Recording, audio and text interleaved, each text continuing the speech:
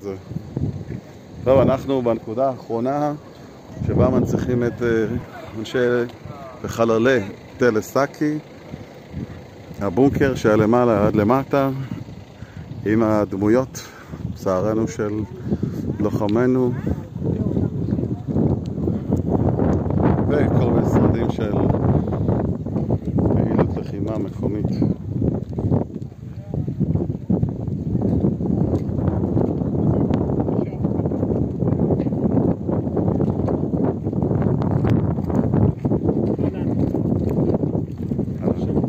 לי נשאר פה איזה 15. אין בעיה, בסדר.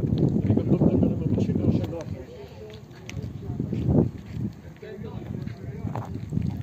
וזה הבונקר.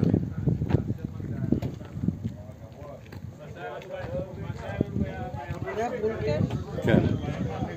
רגע, יורדים למטה? לא, לא, לא, לא, אין שם כלום, זה מה שיש. הורידו, עשו אותו... זה מה שיש. זה לא עכשיו, זה משהו... הגדול, השאירו את הפיצה תגידי, לך. אבל איך אנחנו חיים?